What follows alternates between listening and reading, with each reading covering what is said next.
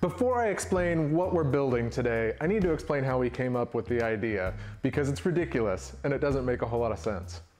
We were in a company meeting. All the editors were discussing what was going to go into our virtual reality issue of the magazine. One editor said, wouldn't it be cool if we had customizable or editable Google Cardboard templates? And somebody else, mishearing him, said, edible Google Cardboard, that sounds awesome.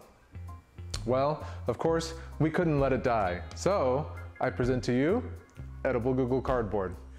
So I took this idea and I decided I was going to do it. I ran to the store, I picked up some graham crackers and some icing. I figured if it was gonna be edible, it might as well be something that tastes good. And I set some rules for myself.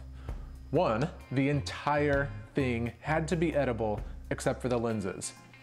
I didn't want to cut any corners, I didn't want to use hot glue and cheat and, uh, and make it just look edible. I wanted it to be the real deal. So what I did is entirely made of graham crackers, icing, and the lenses. The second rule was it had to work. All the distances needed to be correct, the spacing needed to be correct. I needed to be able to look through it, see the Google Cardboard app on my phone in focus, pop the lenses out, and be able to eat it. So here it is. This is the edible Google Cardboard, all completed. This is actually the second one I built. The first one I built completely fell apart whenever I picked it up the first time. It was really sad. So I had to build it a little stronger, a little more robust. This is how it works. You load up some kind of content that you can view in Google Cardboard. This is a 360 image. I don't know if you can see that it's moving around there as I move around the camera. You slide the camera into place.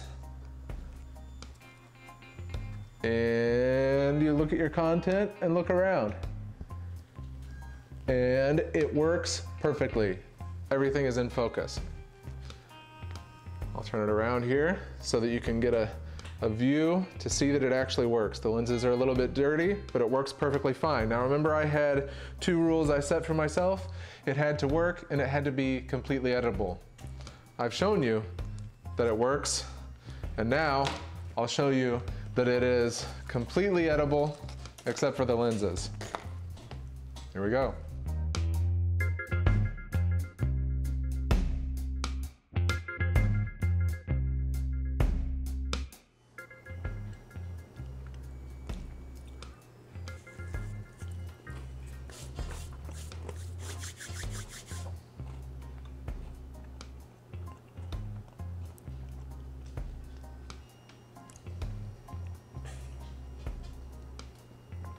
And there you go.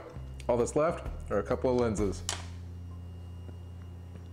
See you next time.